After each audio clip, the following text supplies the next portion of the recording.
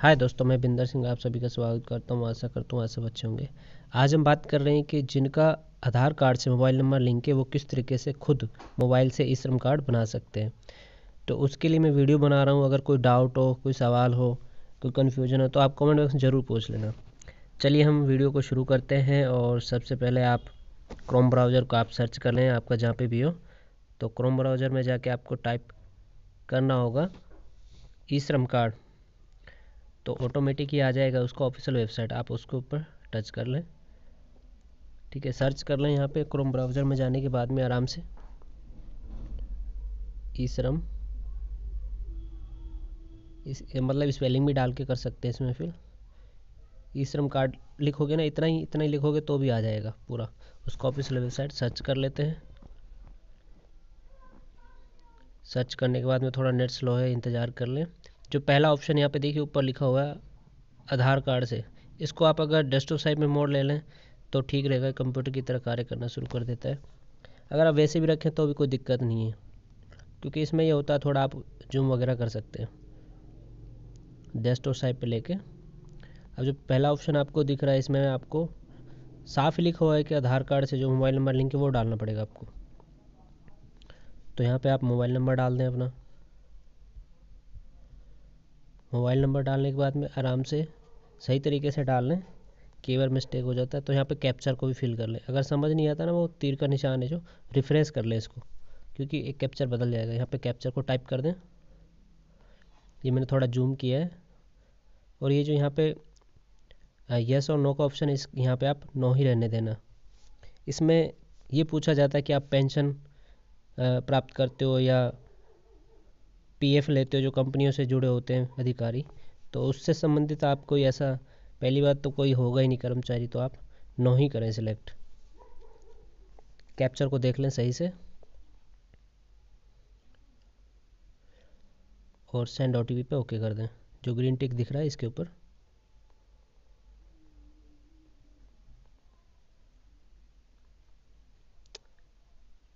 Okay करने के बाद में आप थोड़ा इंतज़ार कर लें।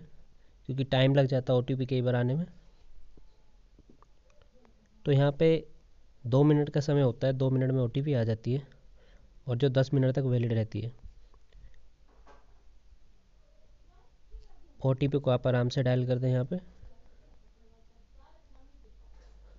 ठीक है, जो भी आपका ओटीपी आया हुआ फ़ोन पे, जो आधार कार्ड से लिंक है। तो यहाँ पे कंटिन्यू कर दें। कंटिन्यू करने के बाद में यहाँ पे एक ऑप्शन फिर दोबारा से खुल के आएगा आपके सामने।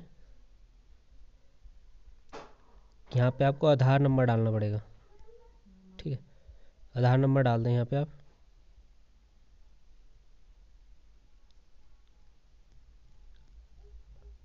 आधार नंबर अब आप पूरा डाल दोगे बारह नंबर का तो यहाँ पे तीन ऑप्शन दिखते हैं आपको, जैसे कि फिंगर वाला ओटीपी वाला, क्योंकि हम ओटीपी वाला चुन रहे हैं। फिंगर वाला जिनके पास बायोमेट्रिक है, वो फिंगर से भी लेकर अंगूठा लगा के थम लगा के बना सकते हैं। यहाँ पे कैप्चा डाल देते हैं ओ का ऑप्शन चूज़ किया हमने। उसके बाद कैप्चर को फिल कर दें आराम से।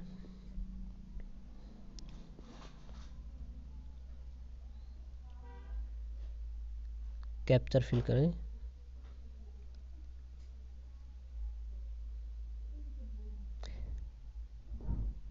फ़ोन जो थोड़ा लोडिंग मान रहा है, और यहाँ पे सबमिट पे ओके कर दें।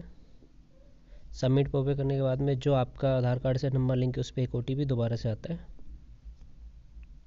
तो आप उसको वैलिडेट पे ओके कर दें। ओके करने के बाद में थोड़ा इंतज़ार करें क्योंकि साइट है जो पोर्टल है वो ज़्यादा ही बिज़ी होने की वजह से टाइम भी लग जाता है तो यहाँ पे ऑटोमेटिक जो आपका डिटेल है ना आधार कार्ड से वेरीफाई हो जाता है, पूरा डिटेल यहाँ पे दिख जाएगा। तो यहाँ पे आपको कंटिन्यू पे लिखना होगा। ओके कर दें कंटिन्यू डिटेल पे। उसके बाद यहाँ पे आपको ऑप्शन दिख रहा है, जो ग्रीन टिक होता जाएगा, उसका मतलब ये समझ लें कि वो फॉर्म भर चुका है। ठीक है तो अब यहाँ पे एक आप इमरजेंसी नंबर डाल सकते हैं, अगर डालना चाहें तो। और नहीं तो आप छोड़ भी सकते हैं इसको कोई दिक्कत नहीं। एक ईमेल आईडी का ऑप्शन है, उसको आप डालना चाहें, डाल दें, अन्यथा छोड़ सकते हैं। यहाँ पे स्टेटस डाल दें मैरिड और अनमेरिड का। उसके बाद यहाँ पे फादर नेम डाल दें। कैटी कैटेगरी जो भी आपका है, वो डाल दें यहाँ पे। और आपका ब्लड ग्रुप कौन सा है? नेगेटिव पॉजिटिव जो भी है, वो आप डाल सकते हैं। अगर नहीं पता है तो आप छोड़ भी सकते हैं। और नॉमिनेशन डिटेल में आप अपना नॉमिनेशन भी डाल सकते हैं। अगर छोड़ना चाहें, आप छोड़ सकते हैं। नॉमिनेशन ऐसा होता है कि अगर पिता है तो सन को बना सकते हो। अगर पुत्र है तो पिता को बना सकते हो। पति पत्नी का भी बन जाता है, कोई दिक्कत नहीं, आपको जैसा सही लगे, आप उस हिसाब से अपना ऑप्शन को सिलेक्ट कर लें। जो नॉमिनेशन है, उसका डिटेल यहाँ पे डाल देते हैं हम।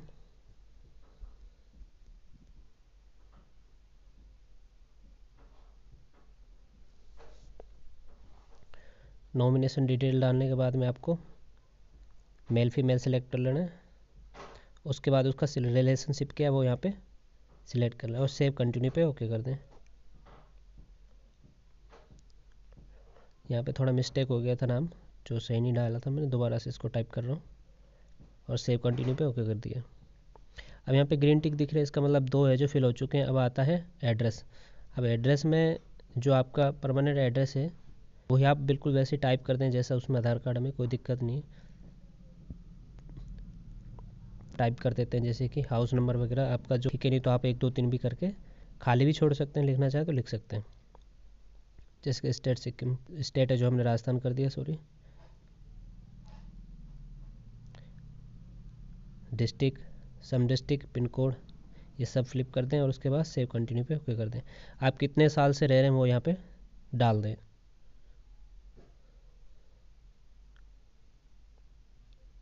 ठीक है तो सेव कंटिन्यू ओके करते हैं। पोर्टल थोड़ा स्लो है, यहाँ पे थोड़ा स्क्रॉल करते हैं। देखिए, तीन ग्रीन टिक हो चुके हैं। अभी हमारे पास दो बाकी हैं। सॉरी तीन बाकी हैं, क्योंकि टोटल है जो छः हैं। अब यहाँ पे आप अपना क्वालिफ़िकेशन डाल सकते हैं आप। पढ़े लिखे हैं तो आप जो भी है मिडिल है हाई है, आप डाल सकते हैं। ग्रेजुएशन है तो ग्रेजुएशन डाल सकते हैं आप। थोड़ा स्क्रॉल ऊपर करते हैं, उसके बाद में आप आप मंथली इनकम सेलेक्ट कर दें और इनका हाँ मतलब कोई फ़ाइल डाउनलोड करना चाहते हैं यहाँ पे अपलोड करना चाहते हैं तो वो भी आप कर सकते हैं। अन्यथा आप छोड़ना चाहें, छोड़ दें।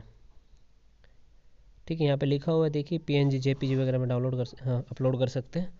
उनको छोड़ देते हैं। उसके बाद आता है कम्युनिकेशन ऑक्यूपेशन सॉरी ऑक्यूपेशन मतलब काम क्या करते हैं। तो इसमें दो ऑप्शन होते हैं फ़र्स्ट और सेकंड ठीक है तो यहाँ पे आप डाल दें। प्राइमरी जो भी आपका पहला काम है, आप करते हैं।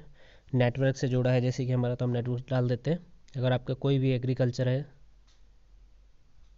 ड्राइवर है कार ड्राइवर बस ड्राइवर जो भी आप करते हैं काम, वो अपना डाल सकते हैं। तो हमारा नेटवर्क से संबंधित तो मैंने नेटवर्क डाल दिया है। कितने साल का एक्सपीरियंस वो भी आप डाल दें। थोड़ा स्क्रॉल करते हैं ऊपर। यहाँ पे दो ऑप्शन होते हैं, दो काम डाल सकते हैं आप, अपने दर्शा सकते हैं कि दो काम ये हैं। यहाँ पे आप लिख सकते हैं कि आपने कोई ट्रेनिंग किया है या नहीं। या आप स्वयं कर रहे हैं। ठीक है। स्किल बी अपग्रेड यहाँ पे भी आप अगर डालें तो डाल सकते नहीं तो इसको छोड़ दें आप। सेव कंटिन्यू पे ओके करेंगे। यहाँ पे पाँच कॉलम है जो भर चुके ग्रीन टी कुछ अब बैंक डिटेल आती है तो बैंक डिटेल आराम से आप डाल दें। जो आपका अकाउंट नंबर है। पूरा टाइप कर दें। और कंफर्म करने के लिए दोबारा से फिर दोबारा उसको दर्शाएँ, क्योंकि वो दर्शाता है इसलिए कि अगर सही होगा तो सही रहेगा ग्रीन टिक आ जाएगा, अगर गलत होगा तो रेड दर्शा देगा। ठीक है? तो अकाउंट होल्डर नाम, यहाँ पे होल्डर नाम डाल दें जिसका अकाउंट है।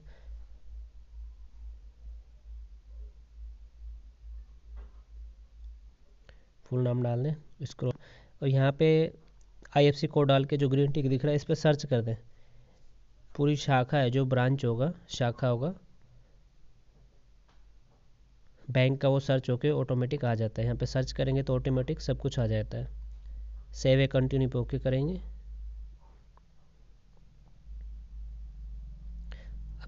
यहाँ पे सेव ए पासवर्ड अगर आप करना चाहते हैं तो कर सकते हैं, नहीं, ऊपर स्क्रॉल करते हैं।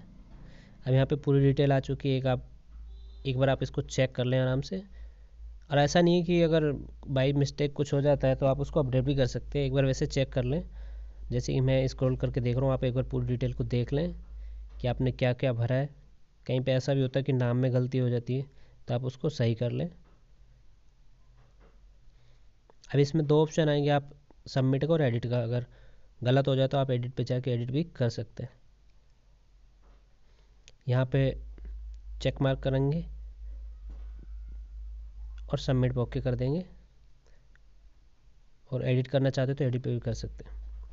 अब ऊपर थोड़ा स्क्रॉल करेंगे तो यहाँ पे देखिए जो हमारा यू नंबर हमें मिल चुका है। तो इस तरीके से ई श्रम कार्ड है जो आपके सामने आ जाएगा। इसको आप डाउनलोड करके किसी भी अपनी शॉप आपके आसपास से उसको प्रिंट करा सकते आज के लिए बस इतना। धन्यवाद। जय हिंद।